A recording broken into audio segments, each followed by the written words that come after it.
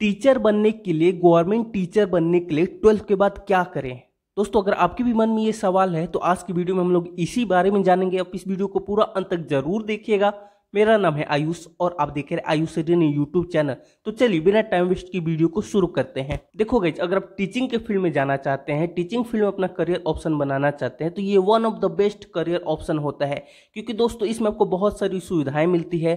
आपको अच्छा टाइम मिल जाता है खुद के लिए भी, जिसमें आप कुछ अलग कर सकते हैं, अपने लिए टाइम निकाल सकते हैं, आगे पढ़ाई कर सकते हैं। तो कहने का मतलब है कि बहुत अच्छा करियर ऑप्शन होता है। तो आइए जानते हैं कि इसका प्रोसेस क्या है, क्या करना पड़ेगा। तो देखो गई अगर आप क्लास ट्वेल्व पास किए हैं या फिर करने वाले हैं तो उसके बाद क्या करना पड़ेगा? इस बारे में जानते हैं। क्लास ट्वेल्व पास करने के बाद आपको सबसे पहले तो बीएड करनी पड़ेगी। बीएड यानी कि बैचलर ऑफ़ एजुकेशन दोस्तों, ये एक डिग्री कोर्स है। आप चाहे तो बीएड इंटीग्रेटेड भी कर सकते हैं या फिर आप चाहे तो पहले ग्रेजुएशन कर लीजिए, उसके बाद बीएड कर सकते हैं। ग्रेजुएशन के बाद बीएड ज़्यादातर लोग प्रीफर करते हैं, अलग से अपना ग्रेजुएशन कर लेते हैं, कुछ भी कर लेते हैं, जैसे कि B A B com B S C B C A B pharma जो भी जिस सब्जेक्ट में उनका इंटरेस्ट हो, उससे रिलेटेड सबसे पहले वो अपनी डिग्री कंप्लीट कर लेते हैं, यानी कि ग्रेजुएशन कंप्लीट कर लेते हैं। ग्रेजुएशन कंप्लीट होने के बाद दोस्तों आपको बीएड भी करना होगा। जी हाँ अगर आप टीचिंग फ़ील्ड में जाना चाहते हैं तो बीएड आपके लिए बहुत ज़्यादा ज़रूरी है। हालाँकि इसके अलावा और भी कोर्सेज है, जैसे कि आप बीटीसी कर सकते हैं, या फिर आप चाहे तो डीएलएड कर सकते हैं, लेकिन दोस्तों अगर आप बीएड कर लेते हैं तो दोस्तों आप क्लास ट्वेल्व तक के स्टूडेंट को पढ़ा सकते हैं।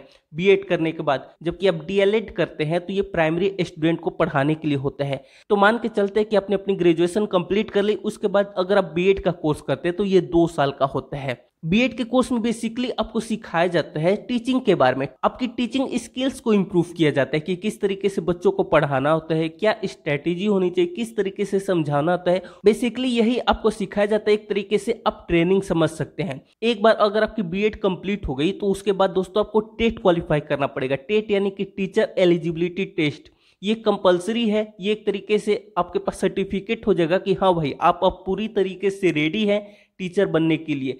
टेट दो तरीके का होता है, सी टेट होता है और स्टेट टेट होता है। सी टेट यानी कि सेंट्रल टीचर एलिजिबिलिटी टेस्ट। अगर आप सी टेट क्वालिफाई करते हैं तो पूरे इंडिया में कहीं भी टीचर की वैकेंसी आती है तो दोस्तों आप एलिजिबल हैं, उसमें आप अप्लाई कर सकते हैं। लेकिन अगर आप स्टेट टेट अप्लाई करते हैं, स्टेट टेट मीन्स किसी भी पर्टिकुलर स्टेट का टीचर एलिजिबिलिटी टेस्ट जैसे कि यूपी वाले यूपी टेट करते हैं, बिहार वाले बिहार टेट करते हैं, राजस्थान टेट तो कहने का मतलब है कि एक पर्टिकुलर स्टेट के लिए एलिजिबिलिटी होती है। तो अगर आप वो करते हैं तो आप उसी पर्टिकुलर स्टेट में जब टीचर की वैकेंसी आएगी, तब दोस्तों आप उसमें एलिजिबल हैं, आप उसको अप्लाई कर सकते हैं।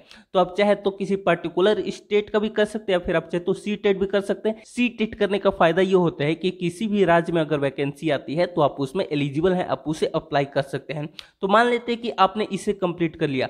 उसके बाद दोस्तों, जब भी टीचर की वैकेंसी आएगी, आप उसमें अप्लाई कर सकते हैं। आप उसके लिए एलिजिबल हो जाते हैं।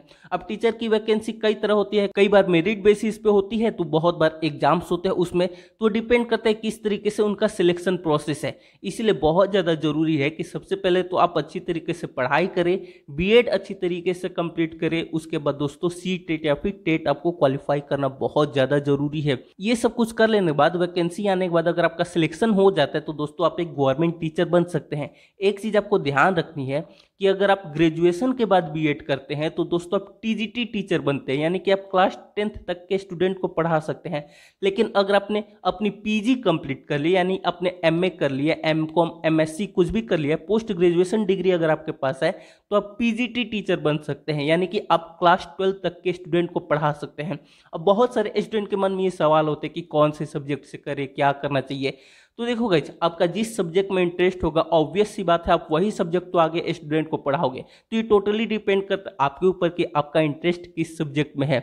अब बहुत सारे स्टूडेंट को सैलरी के बारे में जानकारी चाहिए होगी तो मैं आपको एक एवरेज आइडिया दे देता हूँ। देखो, अगर आप गवर्नमेंट टीचर बन जाते हैं तो जो आपकी सैलरी एवरेज होती है, पैंतालीस से पचास हज़ार रुपये हो सकती है। ये थोड़ा सा कम, ज़्यादा भी हो सकता है, लेकिन मैंने आपको एक अनुमान बताया। और जैसे जैसे आप जॉब करते जाएँगे, आपकी सैलरी कुछ ना कुछ बढ़ती जाती है। तो स्टार्टिंग सैलरी आप इतनी मान के चल सकते हैं। तो उम्मीद करते दोस्तों कि अब आपको पता चल गया होगा कि क्लास ट्वेल्व के बाद टीचर कैसे बने, लेकिन फिर भी अगर आपके मन में कोई सवाल है तो दोस्तों कमेंट करके बताइए। अगर आप एग्ज़ाम पैटर्न के बारे में जानना चाहते हैं कि क्या एग्ज़ाम पैटर्न होते हैं, किस तरीके के सवाल आते हैं तो आप कमेंट बॉक्स में एग्ज़ाम पैटर्न लिखिए। इसके ऊपर मैं और पूरे डिटेल में आपके लिए वीडियो बनाऊँगा, जिससे आपके और भी सारे डाउट्स दूर हो जाएँगे।